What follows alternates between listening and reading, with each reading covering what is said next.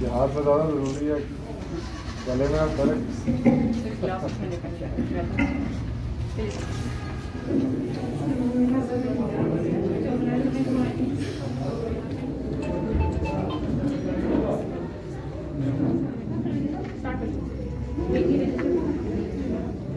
guest of honour honourable executive councillor है mister Mohammad Ali Chandan साहब।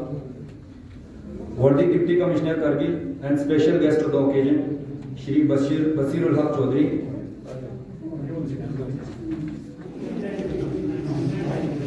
Hajjatul Islam wal Muslimin, uh, when we are going to celebrate 10th of October as a World Mental Health Day.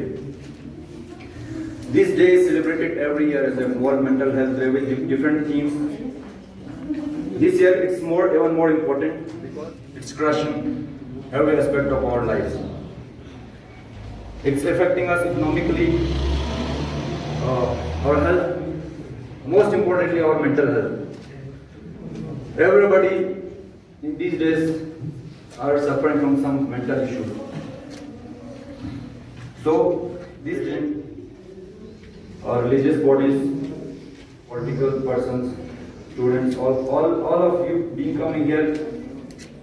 Uh, I feel very happy because this represents that we are all understanding the significance of this day. Uh, and the seriousness of the this issue. So, uh, the past months have brought many challenges for us of the pandemic, especially for healthcare workers who are providing healthcare. Also for the, for the students.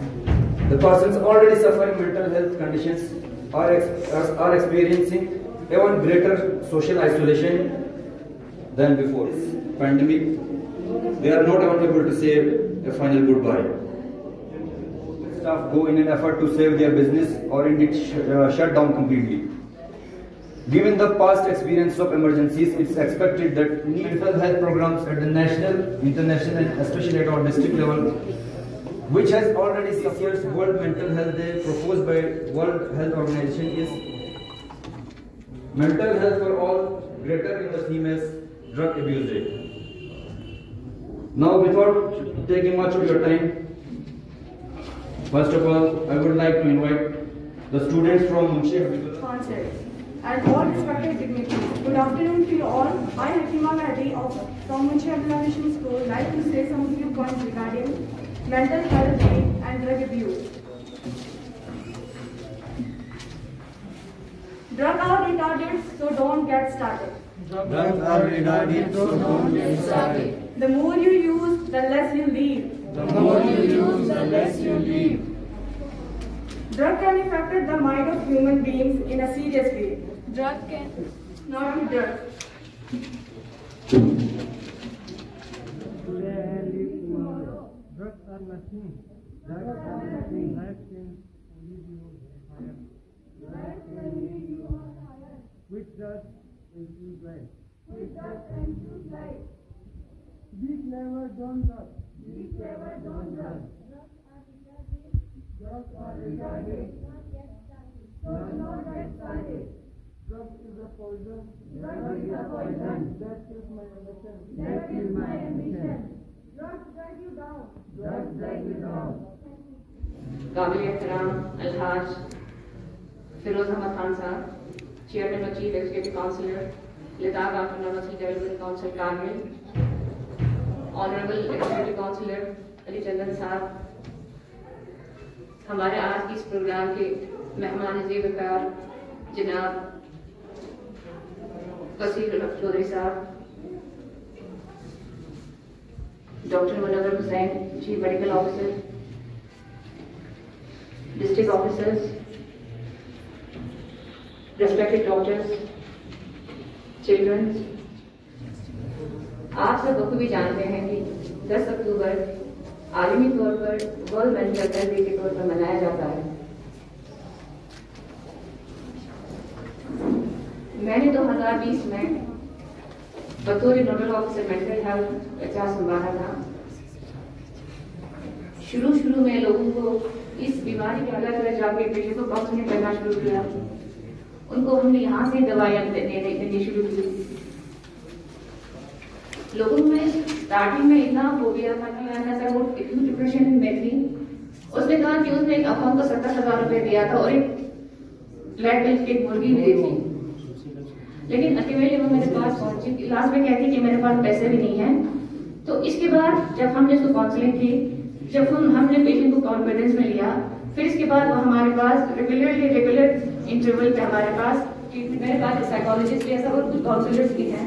हमने जगह जगह जाके लोगों में जाके, उनको घरों में जाके काउंसलिंग देना स्टार्ट किया शुरू शुरू में। लेकिन अब लोग काफ़ी अवेयर हो गए अब लोग आना, लोगों ने आना शुरू किया है मतलब ओपीडी में। तिरपन हमारे पास डिप्रेशन के केसेस हैं सर। एंजाइटी डिसऑर्डर के one thousand six hundred forty four cases हैं। एक्यूट साइकोसिस के एट एटी मतलब मेन मेन जो है, मैं इस पे जरा फोकस करती हूँ। हेड एक हमारे पास वन सिक्स सेवन टू जो कॉमनली हमारे पास जो पेशेंट्स आते हैं। ओसीडी एंड ओसिस्टिक कंपल्सिव डिसऑर्डर हमारे पास one eight seven four cases हैं। अभी हमारे पास कुछ महीनों से ड्रग एब्यूज के केसेस भी आने लगे हैं जिसमें अल्कोहल डिपेंडेंट सिंड्रोम के अभी तक के 37 केसेस हैं जो इन छह सात सालों का हमारे पास डाटा है सर ये। हमारे पास इतने सारे केसेस अभी तक के हैं लेकिन आ, कुछ महीनों से जब से लॉकडाउन का सिस्टम शुरू हुआ जब से कोविड हमारे पास कोविड केस हमारे पास ज़्यादा आने लगे तब हमारे पास ड्रग एब्यूज के केसेस भी ज़्यादा आने लगे हैं। इसीलिए आज के इस प्रोग्राम का मौजूद हमने ड्रग एब्यूज रखा भी इसलिए था क्योंकि हम ज़्यादा से ज़्यादा बच्चों को अवेयर कर सके, हम रिलीजियस लीडर्स पॉलिटिकल लीडर्स को इसमें इन्वॉल्व करके हम जितना हमसे बन पाता, हम इस इस चीज़ को अपने सोसाइटी से निकालने की कोशिश करें। सर, हमारे पास ड्रग एब्यूज की अगर हम, मैं बात करूँ उसमें यंगर एज ग्रुप के बच्चे बहुत ज़्यादा हैं, जिसमें 12 से 25 साल तक के बच्चे ज़्यादा लेके हमारे पास आए थे, क्योंकि उनको जब ड्रग नहीं मिला तो उसमें साइकेट्रिक सिम्टम्स डेवलप होने शुरू हो गए। अगर मैं ड्रग एब्यूज की बात करूँ, उसमें हमारे पास कैनाबजानी चरस। उसके हमारे पास, जो हमारे पास बच्चे तक आए वो 62 है। अल्कोहल इनटेक हमारे पास 11 है। करेक्शन अभी तक 110 केस हमारे पास इन्हीं महीनों में है तो इन्हीं महीनों का ही वक्त है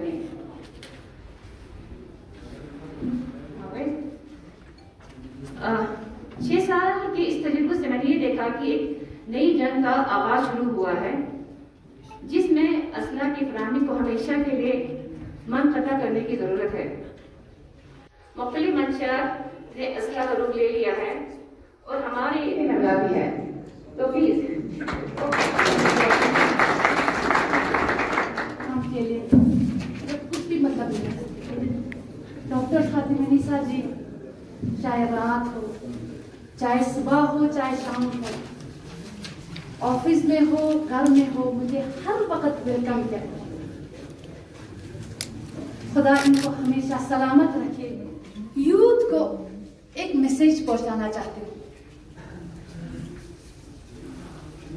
मेरी एक मैसेज है खुदारा खुदारा मायूसी को, नाउमीदी को अपने पास आने न दीजिए। अपने खालिक पे अपने राजिक पे अपने मालिक पे एतमाद रखे। अपने पालने वाले पे एतमाद रखे। और हर मुश्किल से मुश्किल वक्त में साबित कदम रहिए चाहे पढ़ाई में हो चाहे बिज़नेस में हो। हमेशा लगन और मेहनत से आगे बढ़ते जाइए। कामयाबी खुद ब खुद आपके कदम Uh, to be honest, uh, I don't have much information on uh, drug abuse. Uh, as Dr. Fatima Lisa has already mentioned everything, so I guess हम सबको पता चल गया है कि ड्रग अब्यूज कितना ज़्यादा बढ़ रहा है हमारे टाउन में ही uh, मैं बस कुछ चीज़ें हैं uh, वो उतना लाइटली नहीं लिया जा सकता क्योंकि वो डायरेक्टली ही हमारे फ़िज़िकल हेल्थ पे काउंटर करता है तो ड्रग अब्यूज जैसे आप ले सकते हैं। ड्रग अब्यूज से जो ड्रग्स लेते हैं, उनको उतना फ़र्क नहीं दिखता होगा। But as a family member and as a youth as an individual हम देख सकते हैं कि एक रिलेशनशिप एक आपका अपना सेल्फ रिस्पेक्ट एक सेल्फ एस्टीम जो आप कर सकते हो, जो आपके अंदर टैलेंट हो सकता है, वो सब कुछ आप उस ड्रग्स की वजह से खो सकते हैं। तो drug abuse is basically a no for every single individual हम सबको ड्रग्स जितना हो सके उतना सपोर्ट नहीं करना चाहिए। एंड उन्हें ये नहीं कि uh, उनको बहुत बदतमीजी से पेश आए उनके साथ बिकॉज़ वो भी एक पेशेंट है। तो जितना हो सके हमें साथ भी देना चाहिए ताकि उनको वैसे सिचुएशन से निकाला जाए। अब मेरे कुछ पॉइंट्स हैं बस पाँच मिनट लूँगी आप लोगों का। ये कि वो समझ नहीं सकते। But elders and as well as the youth हम सबका एक रिस्पॉन्सिबिलिटी है कि हम ऐसी चीज़ों के बारे में वोकल हो जाए।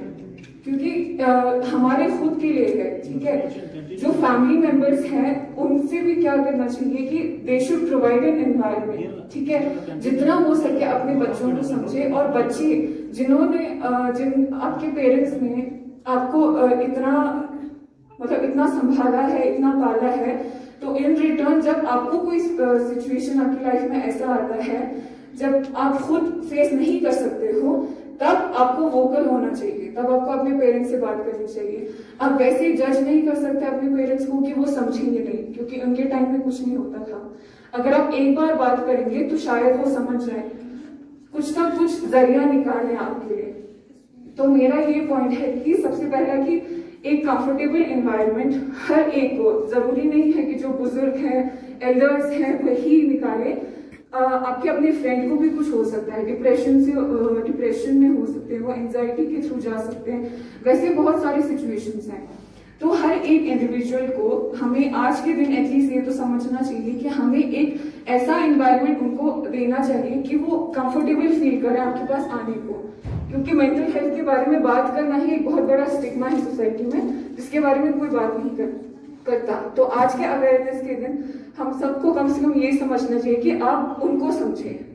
आप उनको समझें उनकी उनको क्रिटिसाइज मत करें। जब कोई आपके पास कोई मेंटल इशू के साथ आता है तो उनके, उनको क्रिटिसाइज करने के बजाय, उनको ये बताने के बजाय कि आप मेंटली बहुत वीक हो, तुम्हें खुद को संभालना चाहिए। इन सब के बजाय अगर आप थोड़ा सा प्यार दें उन्हें थोड़ा सा समझने की कोशिश करें तो आप शायद एक सुसाइड केस भी बचा सकते हैं। दूसरा है कि जितना हो सके अवेयरनेस स्प्रेड करें। जैसे अभी बुज़ुर्ग, अभी बड़े लोग भी इस मेंटल हेल्थ इशू में आ रहे हैं। तो हम देख सकते हैं दिलासा दे, खुद। मैं आज सुबह प्रोफेसर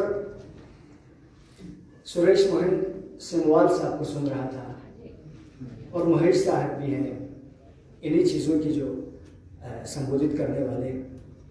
वो फरमाते थे कि हम अकल के पाबंद में हैं, हमारे मिहार अकल के पास है या अकल के पास हमारी मिहार है।